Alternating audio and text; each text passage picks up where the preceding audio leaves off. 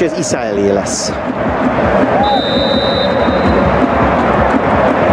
Iszael, Póservéd, Lovrencsics gól!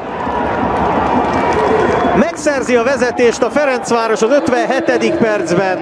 Az egykori Budafok játékos Lovrencsics Gergő érkezik, és szerzi első gólját a szezonban, és ez az első olyan Ferencvárosi gól a szezonban, a 30.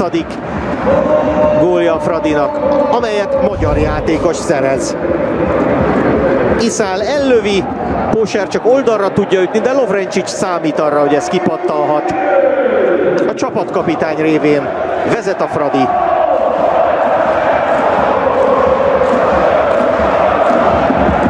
Rebrov öröm.